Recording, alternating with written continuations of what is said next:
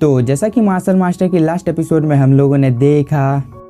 चैंगसाओ को ये Elder डांडाओ city में घुमा रहा होता है, तभी वो चैंगसाओ को लेकर अपने पैलेस के पास चला आता है और वो अपने पैलेस के दरवाजे को जैसे ही खोलता है, तभी उसके अंदर से एक वॉरियर बाहर निकल कर आता है जो कि इस एल्डर को बताने लगता है कि मुझे तुम लोगों की फैमिली के बारे में कुछ भी नहीं पता है ये पैलेस फ़िलहाल के लिए मेरा है, इसलिए तुम यहाँ से दफ़ा हो। जिसे सुनने के बाद एल्डर को थोड़ा सा गुस्सा आ जाता है और वो गुस्से में इस दरवाजे को खोल देता है, जिसकी वजह से इस वॉरियर को भी गुस्सा आ जाता है। इन दोनों के बीच में फाइट छिड़ जाती है, लेकिन एल्डर इस फाइट को हारते हुए दिखाई दे रहा था, जिसे देखकर चैंगसाओ भी इस फाइट में पार्ट ले लेता है और वो बहुत ही आसानी के साथ में इस वॉरियर को हरा देता है। इसके बाद वो पूछने लगता है कि, जुओ फैमिली इस पैलेस को छोड़कर कहाँ गई है? इस पर ये वॉरियर बताने लगता है कि, मुझे इस चीज़ के बारे में कुछ भी पता नहीं है और रही बात इस पैलेस की तो इसे मेरे दोस्त ने मुझे दिया था। जिसे सुनने के बाद इस एल्डर को बहुत ही ज़्यादा गुस्सा आ जाता है और वो इस ऑक्शन की ओर जाने लगता है, जहाँ पर उसके जू फैमिली के पैलेस को नीनाम किया गया था। लेकिन तभी चंगसा उसे रोक देता है और वो एल्डर को बताने लगता है कि, एक टाइम पर तुम लोगों की जू फैमिली इस कॉन्टिनेंट की टॉप फैमिली में से एक हुआ करती थी, लेकिन अचानक से ऐसा क्या हुआ जिसकी वजह से तुम लोगों की फैमिली का रैंक इतना ज़्यादा नीचे गिर गया है? इस बात को सुनकर ये एल्डर भी थोड़ा सा शौक होता है और अब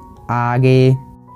इस एपिसोड की शुरुआत में चेंगसाओ एल्डर को समझाने लगता है कि आप लोगों की फैमिली के साथ ज़रूर यहाँ पर कुछ हुआ है, क्योंकि आप बहुत लंबे टाइम से इस जगह पर नहीं आए थे और आपकी पावर भी कुछ ज़्यादा नहीं है, इसलिए आप इस चीज़ में अपनी फैमिली की कोई भी मदद नहीं कर सकते हो। इसलिए आपको खुद को दोष देने की कोई भी ज़रूरत नहीं है, क्योंकि इस डांडाओ सिटी में सिर्फ़ मेडिसिन किंग को ही महत्व दिया जाता है और बाकी सब तो उसके सामने पानी कम चाय है, इसलिए आपको खुद को दोष देने की कोई भी ज़रूरत नहीं है, इस पर एल्डर बोलता है। चेंगसाओ अभी अभी तुमने जो कुछ भी बोला है, मुझे भी उन सब चीज़ों के बारे में पता है लेकिन अभी हम लोगों को फ़िलहाल के लिए मेडिसिन किंग के साथ मिलने के लिए जाना होगा जो कि डांडाओ सिटी के मुख्यालय में रहता है। इस पर चेंगसा भी हाँ बोलकर डांडाओ सिटी के मुख्यालय की ओर जाने लगता है, और वो लोग कुछ देर चलने के बाद में इस जगह पर आ भी जाते हैं, जो की दिखने से बहुत ही ज़्यादा बड़ा और आलिशान होता है। इस चीज़ को देखकर ये लोग इसके अंदर में जाने लगते हैं, और इसके अंदर आने के बाद ये लोग इसकी खूबसूरती को देखकर थोड़ा सा शौक होते हैं, लेकिन तभी एक लड़की इन लोगों के पास आ जाती है, और वो बोलने लगती है, आप लोग यहाँ से किस तरह की मेडिसिन को खरीदना चाहते हैं? इस पर फ़र्स्ट एलर इस लड़की के सामने आते हुए बोलता है, मुझे बेंडिसिन किंग से मिलना है, क्या तुम मुझे उस जगह पर ले जा सकती हो? जिसे सुनने के बाद यह लड़की थोड़ी सी शौक होती है और इन लोगों को लेकर मेडिसिन किंग के पास जाने लगती है। इसके बाद हम लोगों को कुछ देर बाद का टाइम दिखाया जाता है, जहाँ पर ये लोग मेडिसिन किंग के रूम के पास आ गए होते हैं। इस चीज़ को देखकर ये लड़की बोलती है, यही है मेडिसिन किंग का रूम?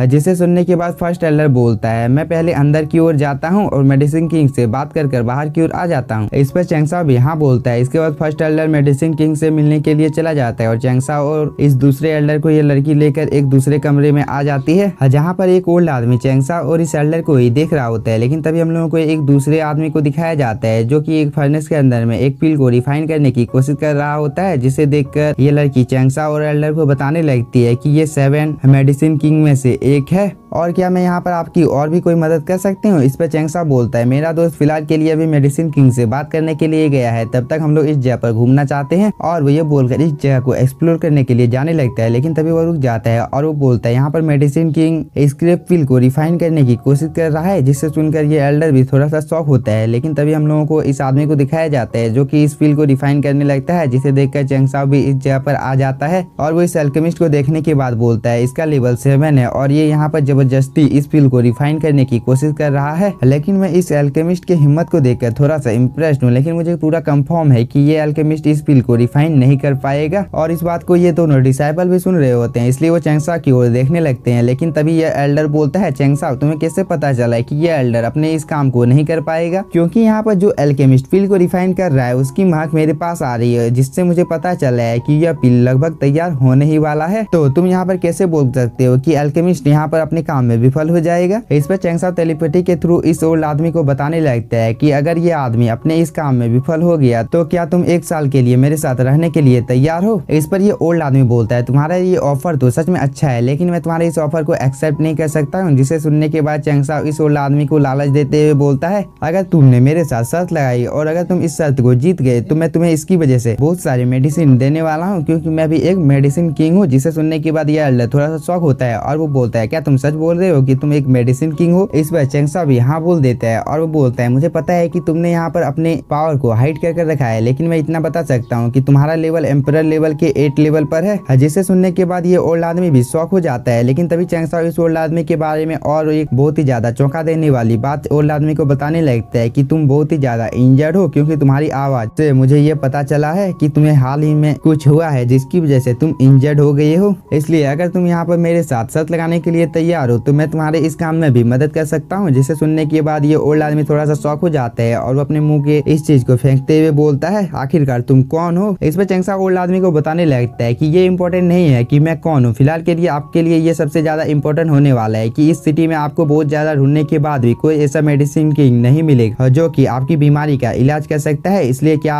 तुम मेरे साथ शर्त लगाने के लिए तैयार हो? और साथ ही मैं आपको यहाँ पर एक बहुत ही ज़्यादा इंपॉर्टेंट बात बताना तो भूल ही गया था, क्योंकि इस बीमारी की वजह से हाल ही में एक बहुत ही ज़्यादा पावरफुल एडलर की मृत्यु हो गई थी जिसके बारे में आपने तो ज़रूर सुना होगा। इस पर ओल्ड आदमी चेंगसा का मज़ाक उड़ाते हुए बोलता है, मुझे तुम्हारी किसी भी बातों के ऊपर भरोसा नहीं है। इस पर चेंगसा बोलता है, अगर तुम्हें मेरे ऊपर भरोसा नहीं है तो तुम मुझे अपनी थोड़ी सी स्पिरिचुअल एनर्जी दे सकते हो, जिसकी वजह से तुम्हें पता चल जाएगा की मैं एक एल्केमिस्ट हूँ या नहीं। इस पर ये ओल्ड आदमी भी अपनी थोड़ी सी स्पिरिचुअल एनर्जी को चेंगसा को दे देता है, जिसे पाकर चेंगसा इसे रिफाइन कर अपनी बॉडी से रिलीज़ करता है, जिसे देखकर एक पल के लिए ओल्ड आदमी भी थोड़ा सा शौक हो जाता है और वो बोलता है, आखिरकार इस लड़की ने ऐसा कैसे किया? इस पर चंगसा इस ओल्ड आदमी को बताने लगता है। ये चीज़ अभी फ़िलहाल के लिए इतनी ज़्यादा इंपॉर्टेंट नहीं है जितनी की आपकी बीमारी है। क्योंकि अगर आपने अपना इलाज नहीं करवाया तो इसकी वजह से आपकी मृत्यु भी हो सकती है। इसलिए आपको मेरे साथ यहाँ पर शर्त लगा लेना चाहिए। इसमें तो आप ही का फ़ायदा है। अगर आप इस शर्त को जीत जाते हैं तो मैं हमेशा के लिए आपके साथ रहूँगा और साथ ही मैं आपकी बीमारी को भी ठीक कर दूँगा, जिसकी वजह से आप अपने लेवल को भी दोबारा से ब्रेक थ्रू कर पाएँगे। इस पर ये एल्डर अपने मन में कुछ सोचने लगता है, लेकिन तभी वह इस एल्केमिस्ट की ओर देखने लगता है और उसे भरोसा हो जाता है कि वह इस कंपटीशन को बहुत ही आसानी के साथ जीत जाएगा। इसलिए वो चैंगसाओ के साथ शर्त लगाने के लिए तैयार हो जाता है, जिसे सुनने के बाद चैंगसाओ अपना इंट्रो इस आदमी को देने लगता है की मेरा नाम चैंगसाओ है और जो भी मेरे आसपास के लोग हैं, वो मुझे मास्टर चैन कहकर बुलाते हैं। इसलिए आज से तुम मुझे मास्टर चैन कहकर बुलाओगे। इस पर ये एल्डर चैंगसा को बोलता है, तुम्हें इतना ज़्यादा खुश होने की कोई भी ज़रूरत नहीं है, क्योंकि इस कॉम्पिटिशन का फैसला अभी नहीं हुआ है, क्योंकि ये अल्केमिस्ट अभी भी पील को रिफाइन कर रहा है। इसलिए जब तक कौन जीतता है, इस चीज़ का फैसला नहीं हो जाता है, तब तक हम दोनों यहाँ पर शांत रहेंगे और मुझे बोलकर इस